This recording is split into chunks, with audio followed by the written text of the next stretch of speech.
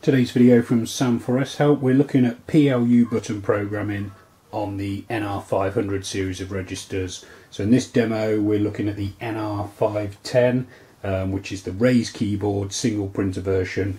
The process is identical on the 520 which is the same machine with the same keyboard just has two printers. It's similar on the flat keyboard versions but I'd probably check out our specific videos on those because it's got a different keyboard. The, the button presses are, are different. Okay so um, on these machines you have 12 what are called PLU buttons here. Um, if I just log into this machine as standard they're programmed to be preset but zero priced items. So you can type in a price and then sell the item in that way. They have no tax settings on them, they have no um, customized descriptions and they have no prices. So what we'll do in this video, we'll, we'll program in three or four buttons and show you how to put a description in, how to put a price in, and then um, how to put a price override in and also how to apply taxes to the PLUs um, if you need to. Okay, so I'll cash that sale off. And then what you'll need is the metal key marked P and you'll need to turn that round to the PGM position.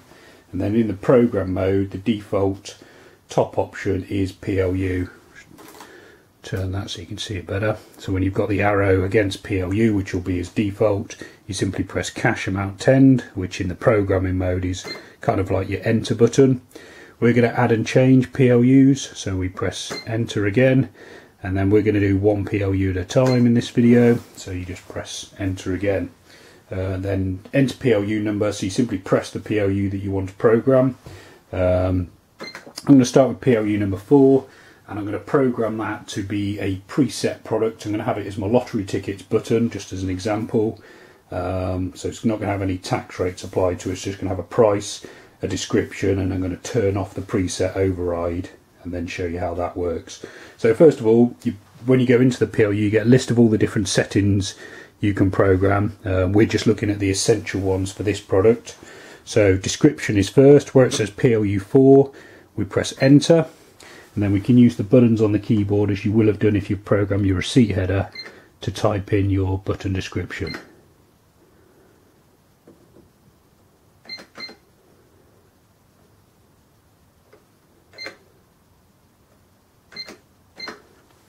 Okay, once you've typed in your description, cash to save or enter, and then down to the price, enter, type in the price without pressing the decimal point, and you've got your price in there. Now we get to some of the options. So option three is preset, yes or no. It's defaulted to yes, which is correct. Um, the option below is preset override, which is defaulted to yes again, but we don't want to allow that on this product. So enter, and then you can either arrow up or down to get to N for no, enter, um, and then we'll look at our taxes in, a, in the next PLU we program. Once you're happy with your settings for that product, clear, takes you back to the main PLU menu, and then you can press the next PLU to program. So I'm going to program PLU 3. Um, I'm going to have this as an open um, an open department that is standard tax rate. So on this machine I've if you've seen my previous videos, you'll have seen I've set up tax rate 1 to be 20%, so like a, a UK VAT. Um, so we go into the description, and I'm just going to call this, to speed up the video a bit, I'm just going to call it goods. Obviously you can play around with the descriptions to your heart's content. Goods, enter to save, price. I'm going to leave this one with no price, so it's going to be an open department, so I can ring in a variable price each time. So I need to turn off the preset because I don't want to sell it at zero. Preset override, I'm going to, I don't think that actually matters if you've got zero price, but we might as well leave it on. And then uh, for taxes, please check out my tax video, but basically I've set up tax rate 1 to be 20% add in. Um, so I need to go into there where it says taxable by rate 1, no. I want to change that to yes. Um, let's have a quick look at any other settings. You've got up to four tax rates on the machine, but obviously they're only relevant if you've programmed them.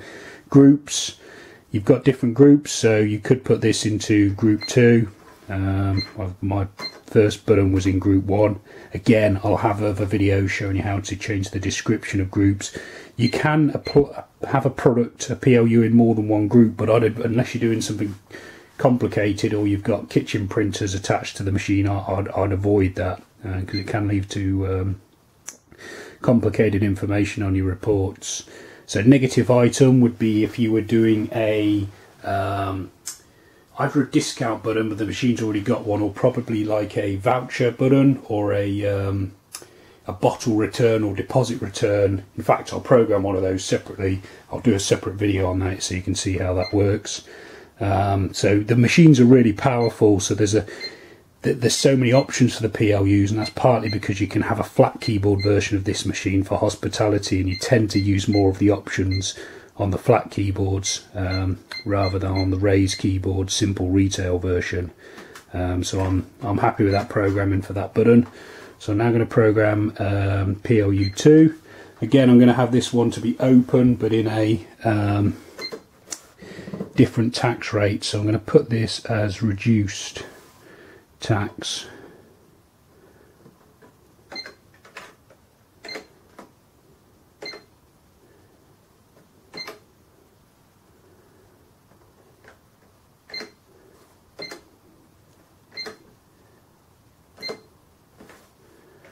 Again, it's going to have no price. It's not going to be preset, so I need to change that. Preset override and then tax rate 1, no, but tax rate 2, because this is a 5% a reduced um, tax rate product.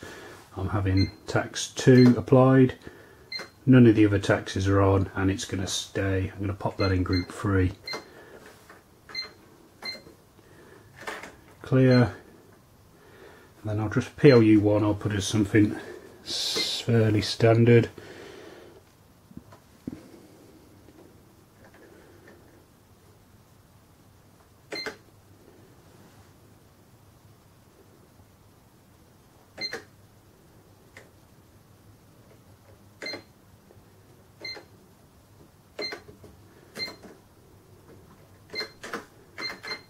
Oop.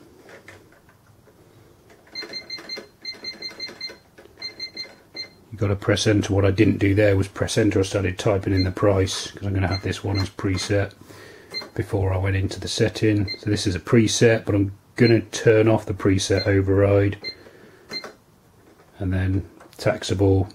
Um, let's leave this as a non-tax item. Um, so yeah, that's the programming done. Obviously, I've just programmed four made up fairly basic products, but just give you an idea of the core pieces of programming. So description, price, open or preset, preset override, and then tax settings. So clear is your return to the main menu screen. So you have to press that a few times until you get back to program mode where PLU is number one. You then turn the key back to reg and then you can test your products out. Um, so we've got button four, that was preset as lottery ticket. So you press it or you can do a multiply on this machine. So 10 tickets would be 10, multiply and then the lottery button. We've got, we had a couple of open buttons, okay, because we've programmed this one as open, it's got an error message come up because I didn't allow a zero price sale. So we type in the price, hit the button, that's my goods department. What I'm going to do is I'm going to round up the goods department so I can explain the tax working out a bit easier. So that's £8, 1 99 let's get it up to 12 pound.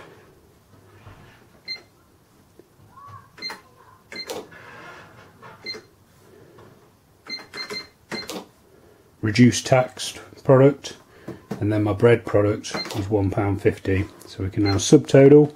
On the machine if you're not familiar with how you process a transaction you've got a cash button here so if they're paying in cash £50 for example you would type in 5000 then hit your cash button if they were paying by um, card, then you have a charge button here, which obviously if they're paying by card, you don't need to enter the monies. Um, it will simply come up um, and show the show the full amount.